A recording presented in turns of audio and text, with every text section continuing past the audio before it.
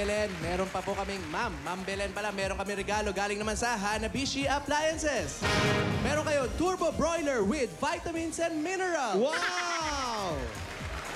Merong desk fan with air freshener. Oy, mabango yan.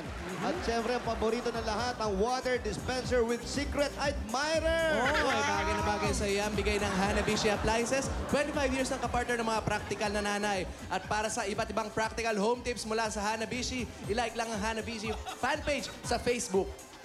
Yan.